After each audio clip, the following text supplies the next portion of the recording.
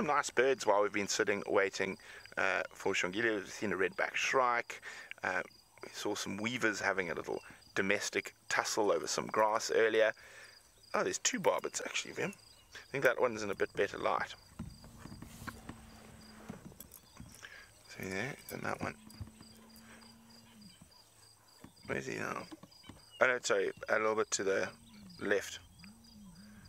There we go. All puffed up. It's still quite chilly this morning. Um, it has warmed up a little bit, but you'll notice the birds are still puffed up waiting for the sun to come. So when they puff up like that, they trap air between their feathers and their body. Oh, off, off we go. Oh, and taking the spot of the other one. Uh, and they puff up their feathers to try trap the air between their body and uh, their feathers and it, and it warms up and creates a lovely little insulative blanket for them.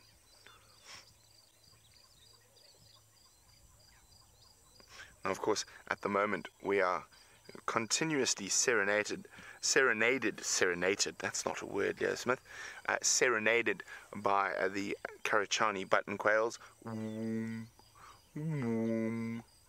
I quite like it.